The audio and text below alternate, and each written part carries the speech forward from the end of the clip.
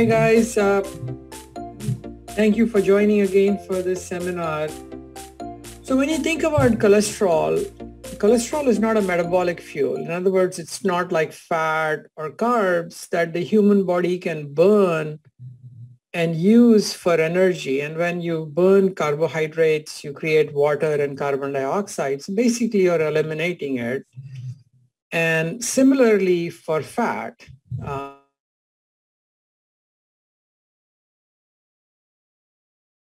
nitrogen is eliminated through a very nice process through the liver, through the kidneys.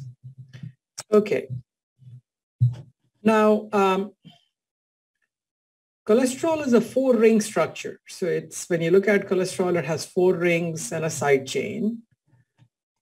And cholesterol is so important for us that life cannot happen without cholesterol. And cholesterol is also important in plants. So the plants make something called phytosterol, which is a kind of cholesterol that they use.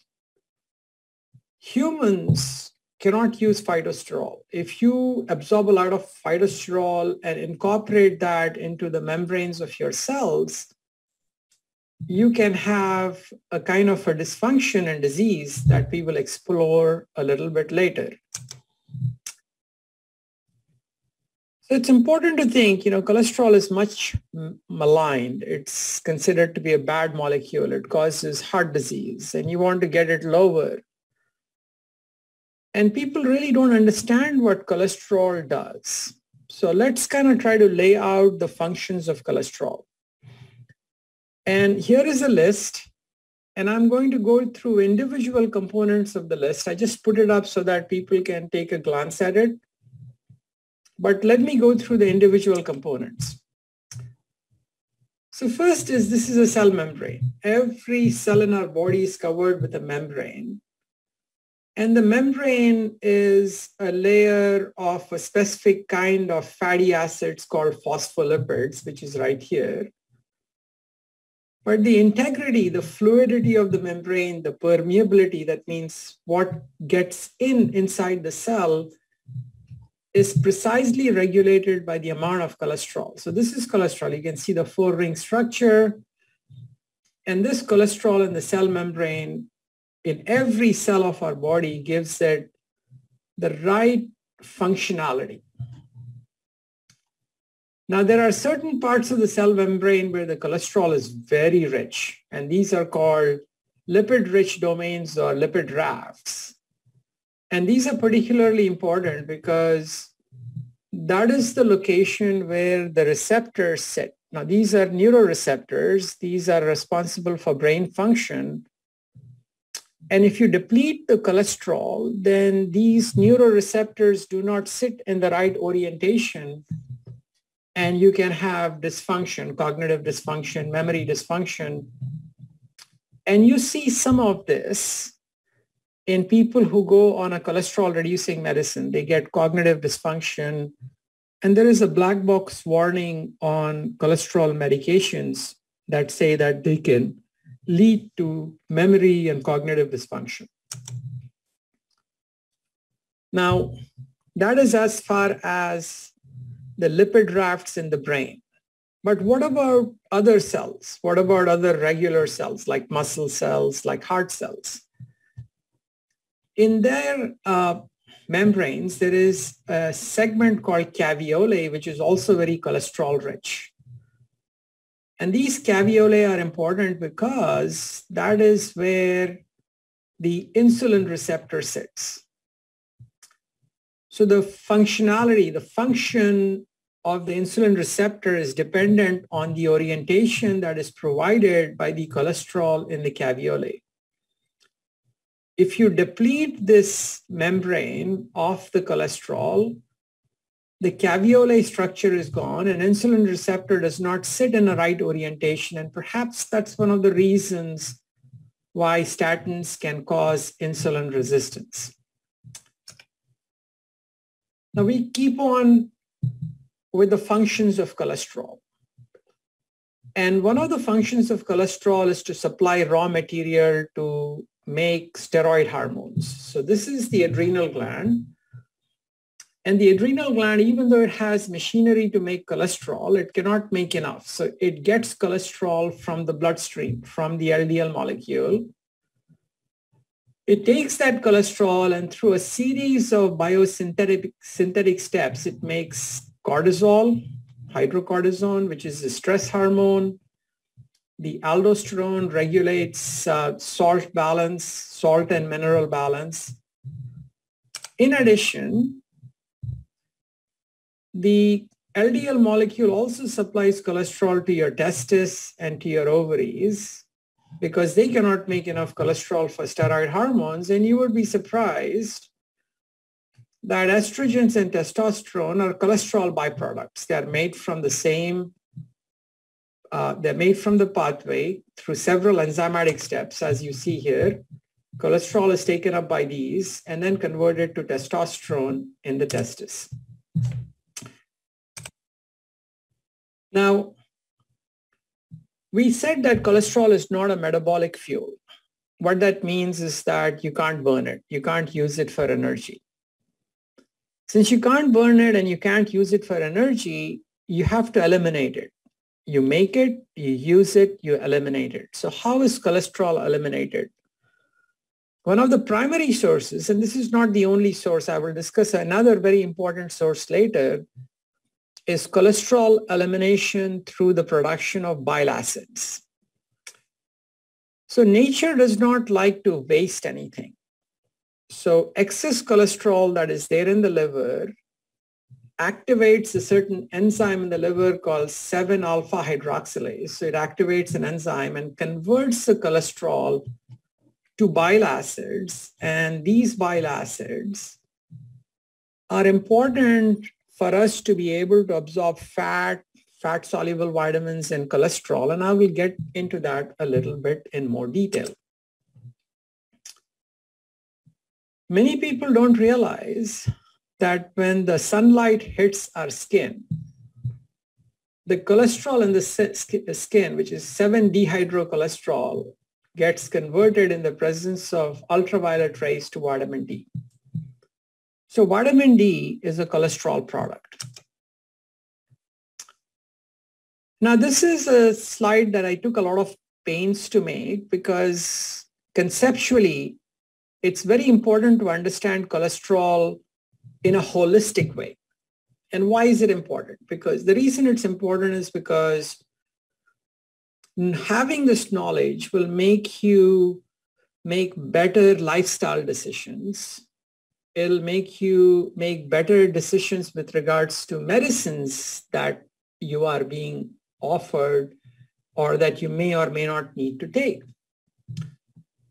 So when you look at cholesterol in the human body, you should consider it as cholesterol pools. So there are several different cholesterol pools in the human body. One of them is in the brain. The brain is about 2% of the body, but has 25% of its cholesterol. The hmm. brain makes its own cholesterol. The cholesterol that you eat, the brain cannot use because it cannot transfer, it cannot get across the blood-brain barrier.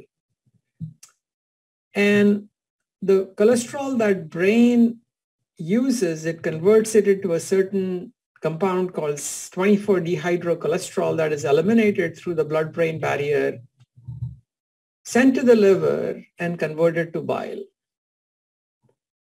Now the liver is a very important organ that makes cholesterol, but it doesn't like to make it because it's an expensive process. You will see very soon how expensive it is for the body to make cholesterol. In my book chapter, I'm mentioning that over 100 molecules of ATP, which is our energy currency, is needed to make one molecule of cholesterol. It'll make it if you don't eat it, but it would like to get it from food. It also takes up cholesterol from the bloodstream. In our bloodstream is typically the cholesterol that people think about. That is the LDL cholesterol or called the bad cholesterol or the HDL cholesterol, which is called the good cholesterol. And as we said, it eliminates excess cholesterol in bile. So then there is a bile pool. The bile pool is responsible for eliminating excess cholesterol, for absorbing fat and fat-soluble vitamins. But the body does not like to waste it. 95% of bile salts that are made or bile acid that is made is reabsorbed and only about 5% of that is eliminated as a part of the cholesterol elimination. Now, when people think about cholesterol, they're really thinking about the blood pool of cholesterol. The blood pool of cholesterol, and these are the different lipoproteins, the LDL, the VLDL, the HDL, the chylomicrons. All of these carry the same cholesterol. There is no difference in cholesterol between the LDL cholesterol or the HDL cholesterol. Um, these molecules have antioxidant function. They uh, help us defend against bacteria and viruses. They carry energy to the tissues. They carry fat-soluble vitamins. They are responsible. There is finally a tissue pool of cholesterol. Like let's say this tissue pool has cholesterol and you start doing fasting. And when you do fasting, you go through autophagy. In other words, you are removing dead tissue, you are removing dead cells. And in the process, cholesterol from these cells is picked up through a process of reverse cholesterol transport through HDL as well as LDL, through HDL and LDL, and it's taken back to the liver. It should not show taken back to the bile. There's a mistake in here it's taken back to the liver and um, it's recycled. It's, a, it's, it's either reused or eliminated in bile. So I'm going to go quickly through the next several slides because that's not the goal of my presentation. These are the blood pool of cholesterol molecules, the VLDL molecule, the LDL molecule, the HDL molecule, and what regulates them. And they have specific functions that have evolved over millions of years of evolution. So you should not consider them as bad because they have a function. And I needed three slides to show the different functions that these molecules have. And I don't want to go through them in detail, but just tell you that the blood pool of cholesterol that we usually are worried about is something that has specific functionality. So cholesterol is so important that if you eat no cholesterol, there are probably about 25 to 30 different enzymatic steps. Uh, it's even too numerous to count and from raw materials like acetyl-CoA, you start making cholesterol through different steps. So the first step um, out here, which is the production of mevalonic acid, this is where the statins block the cholesterol production. They block it very high up. And as cholesterol is being made, it makes certain compounds. These are called isoprenoids. These isoprenoids make CoQ10. CoQ10 is important for muscle function.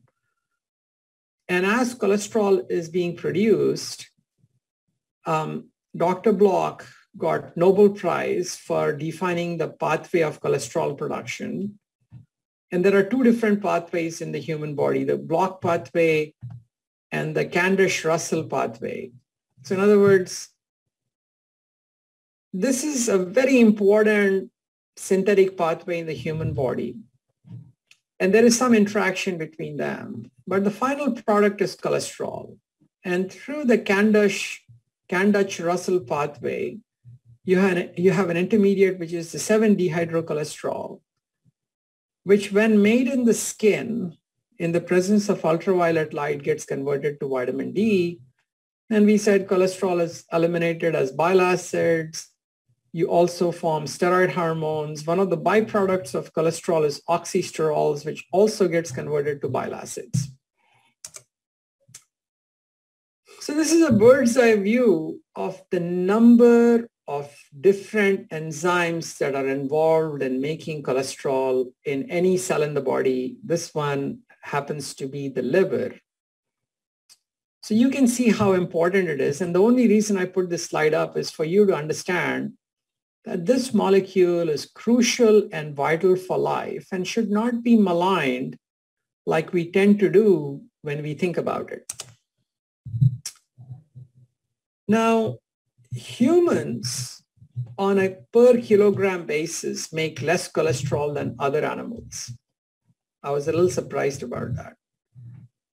The mouse makes a lot more cholesterol than humans do per kilogram. The contribution of liver to the total production of cholesterol is much lower in humans than compared to smaller animals like mouse. The production of cholesterol is, is something that peaks in the early morning hours. In other words, you don't make the same amount of cholesterol through the day. It actually goes down in the evening and then it peaks during the early morning hours. Now, my whole goal of this talk was to tell you that cholesterol synthesis, the amount of cholesterol that our body needs, is precisely regulated. There are many, many mechanisms. So cholesterol is a waxy, fatty substance. And because it's waxy and fatty, it cannot live in a watery environment. So it is confined to membranes. Like this is a membrane, this is an internal membrane of the cell, which is called the ER or the endoplasmic reticulum. And cholesterol is present in here. Now, if the amount of cholesterol in the membrane goes down, this is the endoplasmic reticulum, there are sensors in the endoplasmic reticulum, and these are called SREBP. So you don't need to really know the name, but basically this sensor gets activated when low cholesterol is there, this sensor gets activated. It goes and tells the brain of the cell, which is the nucleus, hey, I need more cholesterol. So the cell starts making a lot of machinery. So enzymes to make cholesterol as well as the LDL receptor. So as the enzymes go up, the synthesis of cholesterol goes up as the LDL receptor goes up, you pick up more cholesterol from the bloodstream through the LDL. So low cholesterol in the membrane of the cell is a signal for this molecule to go to the liver and jack up the machinery to make cholesterol. Now what you see out here is another set of machinery that can be activated by the brain of the cell or the nucleus to make bile acids. But since cholesterol is less, the synthesis of bile acid, which is exporting cholesterol, goes down. We will talk about these structures in the next slide. Actually, the following slide. So this is an elegant study. I want you to think about this for a little while because these are liver cells that are grown in a medium that is very cholesterol rich. Since there is a lot of cholesterol, the liver cells, the signals to make cholesterol remains in the cytoplasm of the cell. This is the nucleus, this is the cytoplasm.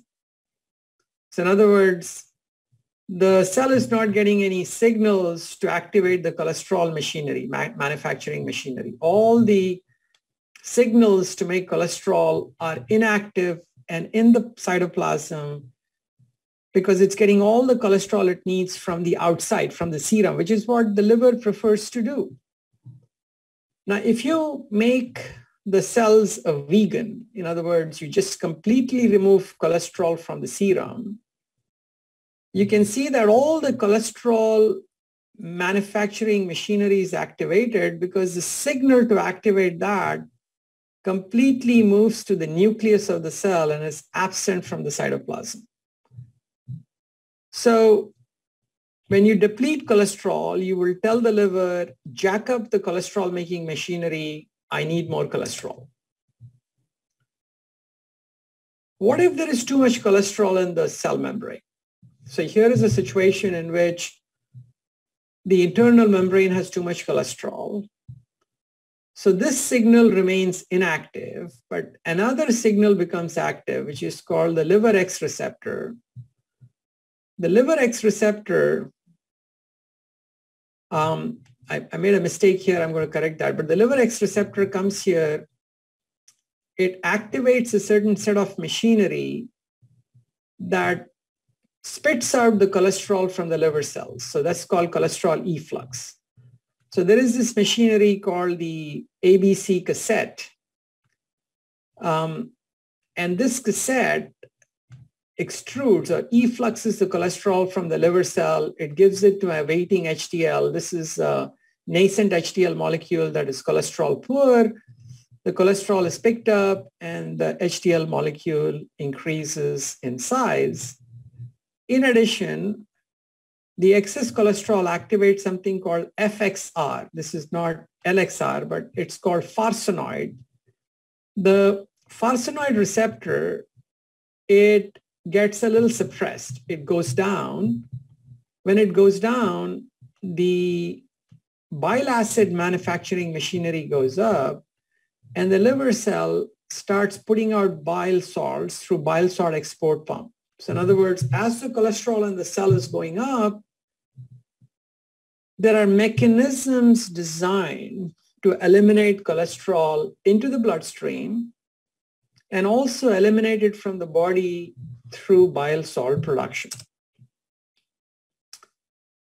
Now, bile salts, I thought, was just a simple way of eliminating cholesterol, but it is very important. There are about maybe 15 or more different steps through which the liver converts cholesterol to bile salts. It's amazing.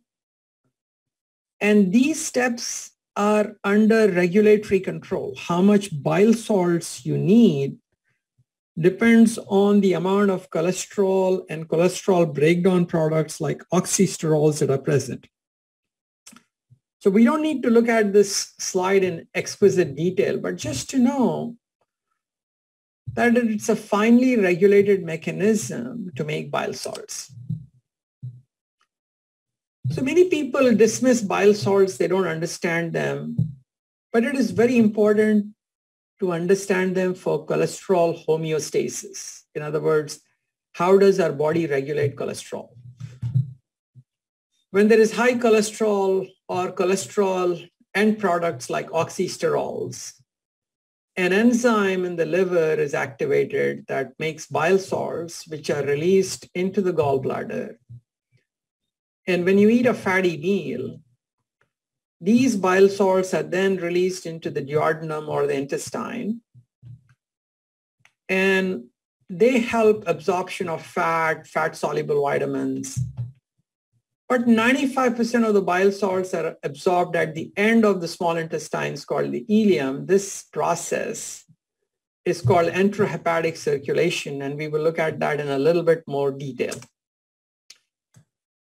But here is what bile salts do. They are detergents. They form hmm. micelles. So this is a fat globule, and this fat globule cannot be absorbed because it is waxy and fatty. It doesn't dissolve in water. Here is a bile acid. It's got a hydrophilic, a water-soluble area, and a hydrophobic, a water-insoluble area. So it will form a micelle. So the outer covering of this micelle is water-soluble, and that permits this fat globule to interact with our intestine and get absorbed. And this process is not only important for fat, but it's also important for fat-soluble vitamins like A, D, and E, and also important for cholesterol. So we have a bile acid pool of about three grams. They have that de detergent action. They're releasing the bile in response to food.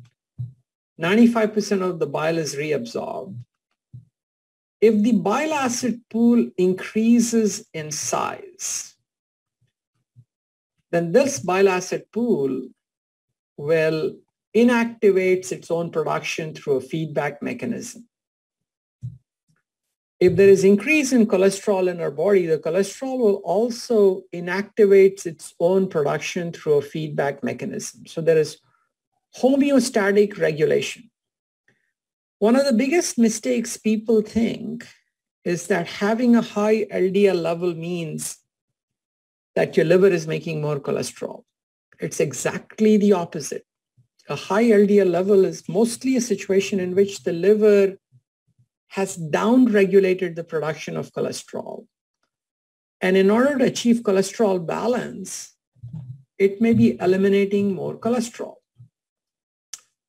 On a daily basis, in a human, about 500 milligrams of cholesterol are eliminated along with bile. So in other words, as bile salts are being made, the liver not only, not only eliminates bile salts, but it eliminates cholesterol with it. Part of that is reabsorbed, or most of it is reabsorbed. And the amount that is eliminated is about a gram.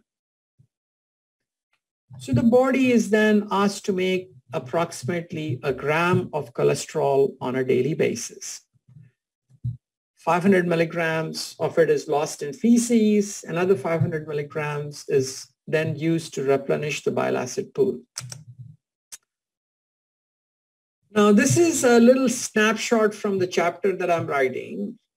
It's amazing to find out that cholesterol is not just eliminated through bile, but cholesterol can be directly eliminated from the intestine through a process called TICE, transintestinal cholesterol elimination. And you don't need to read what I have written. I'm just kind of uh, promoting my book chapter. But um, here it says that it's an important source. About 35% of body's cholesterol is eliminated this way. It is inducible. In other words, if the liver for some reason is not able to eliminate cholesterol in bile, then the intestine increase the TICE elimination this is finely regulated by the body's pool of cholesterol through sensors that tell it, hey, jack up the elimination or jack down the elimination. These mechanisms are still not clearly understood as to what is the process that makes the intestine eliminate cholesterol. So coming back here, I want to focus for a minute again that when you conceptualize cholesterol, you should conceptualize it in different pools. There's a tissue pool in muscles, heart, uh, the pancreas, uh, other organs of the body. There is a brain pool, which is the big, one of the biggest pool per uh, gram of tissue. Uh, there is a liver pool, there is a bile pool that is important for cholesterol elimination and absorption of fat. And what most people are familiar with is the blood pool, which is basically lipoproteins. That is the LDL called the bad cholesterol. I prefer to call it the good cholesterol also, or the other good cholesterol. The HDL, the chylomicrons is the cholesterol that is absorbed from food. This blood pool has several functions that we have talked about in different uh, uh, talks, the brain is eliminating cholesterol through the blood-brain barrier through an intermediate, which then takes up by the liver and then converted to bile. Now, which brings us appropriately to how does the body regulate the absorption of cholesterol? How does it know how much it needs? It knows how much it needs through feedback mechanisms. So here is an intestinal cell. It's called an enterocyte. There are specific receptors. In other words, there are, there are specialized structures that absorb cholesterol. These are called Niemann-Pick-like receptor. And it not only takes in cholesterol, but it also takes in plant cholesterol or phytosterols. But it does not want to take in phytosterols. Phytosterols are not good for us, as you will see in a little bit. And as soon as it takes a phytosterol, it has an active mechanism of spitting out the phytosterol. It can spit out the amount, some cholesterol too, but principally this mechanism is designed to spit out the phytosterol. the amount of cholesterol that is needed is then absorbed, converted or esterified, and then put into chylomicrons and sent to the bloodstream. And the absorption of cholesterol is aided by the production of bile. And when you look at certain studies, and by the way, the amount of data on the amount of cholesterol that is absorbed in food is very sparse. It is not precise. Uh, the absorption of cholesterol, the exact absorption of cholesterol is difficult to determine.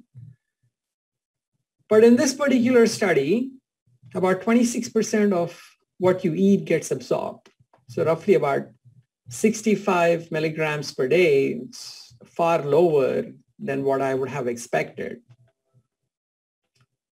Now, if you take the same person and you put them on a statin, so in other words, you jack up the, or you reduce the production of cholesterol by the use of a high dose of statin, what happens to cholesterol absorption?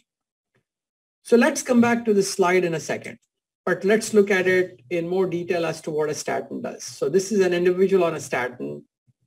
This is the membrane that has the cholesterol. This is called the endoplasmic reticulum. Now, what the statin does is that it blocks the cholesterol manufacturing machinery. It, it blocks the HMG-CoA reductase. So the cell, the liver cell cannot make cholesterol. When it cannot make cholesterol, the machinery that is responsible for making cholesterol gets activated. So in other words, this SREBP gets activated, moves to the nucleus. Let's see if it moves to the nucleus. So it does. So once it moves to the nucleus, since it can jack this up, but this is blocked by the statin, it jacks up the production of LDL receptors. So it says, hey, I am hungry. I'm going to take more cholesterol from the bloodstream. So it picks up cholesterol from the LDL. And that's the reason why when you take a statin, that there is a 30 to 50% reduction in cholesterol from the bloodstream. And you would think that that's a great thing, and perhaps it is, and that's a matter for another discussion, another talk. But let's go back in here. So this is before taking a statin, the amount of cholesterol absorption is 26%, but now you started taking a large amount of statin. Look what happened to cholesterol absorption. It went up to 53%. There was a 100% increase in the absorption of cholesterol. Why is this the case? That's because of homeostatic mechanisms. The body is telling you, hey, I can't make any cholesterol. I'm desperate for cholesterol, so I'm going to absorb more of the cholesterol that you're eating in food. The amount absorbed went up by 200% nearly from 65 milligrams per day to 153 milligrams per day. We went through the slide. Now, if that were all, I would be okay. But let's talk about what is happening to the absorption of plant cholesterol. So this campesterol and sitosterol are plant cholesterols.